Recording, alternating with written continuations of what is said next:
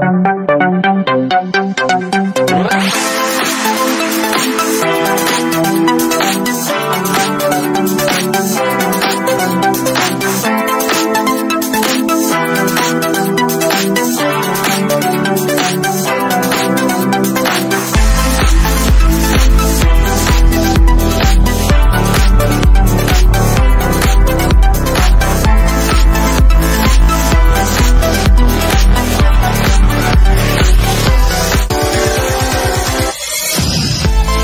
is hidden.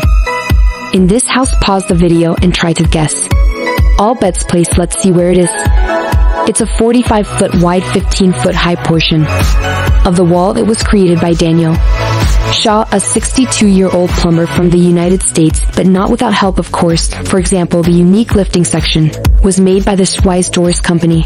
In addition to space for cars and machinery, the house has fully fledged rooms, for example, a bedroom, a walk-in, closet, and three bathrooms. There's also insulation and axe so the hangar home not only looks good, but it's also quite comfortable. The builder spent about 225 000 on it.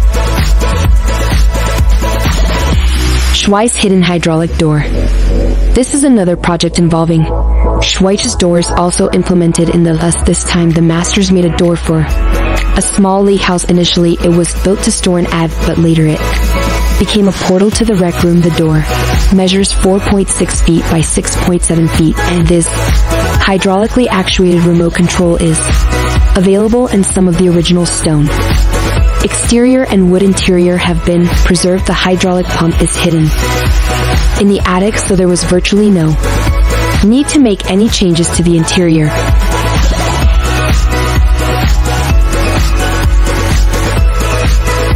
Concrete door. Yeah, it's another option that looks like something from a Hollywood movie set, and again it was made by an American company. By the way, one of the projects was implemented in the House of Hollywood producer and here we have a secret room. Under the stairs the key aspect is utmost disguise it's incredibly difficult to visually detect the door.